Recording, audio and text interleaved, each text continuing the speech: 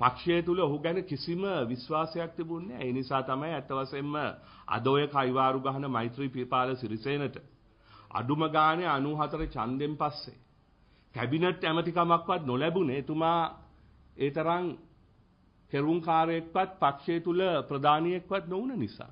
ප්‍රේස්ලට් දෙනවා රත්තරංචයෙන් දෙනවා වයලට් අක්කගේ බුලත් දුබායි එකට යවනවා පොඩි සූන්යගේ එලෝලු ටෝකියෝ එකට යවනවා මෙන්න මේ සියල්ල මම දින 100කින් කරලා පෙන්නනවායි කියලා රට බාරගත්තත් ඒ එකම පොරොන්දුවක්වත් ජනතාවට දීපු ඉටු කරන්නට බැරි වෙච්ච මේ ඉතිහාසයේ එකම ආණ්ඩුව හැටියට මේ වෙනකොට රනිල් වික්‍රමසිංහ ඉතිහාසගත වෙලා ඉවරයි. රනිල් වික්‍රමසිංහ මහත්මයා අද ජනතාව නොමග යවලා ජෝර්ජ් බුෂ් ජනාධිපතිතුමාගේ නම විකුණගෙන එක පැත්තකින් එතුමා බලයට එන්න බුදුහාමුදුරුවන්ගේ නම විකුණනවා. ජෝර්ජ් බුෂ් ජනාධිපතිතුමාගේ නම විකුණනවා. ඒ වගේම